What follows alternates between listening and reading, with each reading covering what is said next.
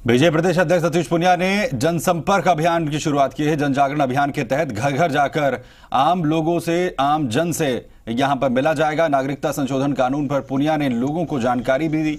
ज़्यादातर जगह पर पुनिया को अच्छा रिस्पांस यहाँ पर मिल रहा है। पुनिया ने इस पर कहा है कि लोगों को कानून के बारे में काफ़ी जानकारी है। लोग इस कानून पर मोदी सरकार के साथ हैं।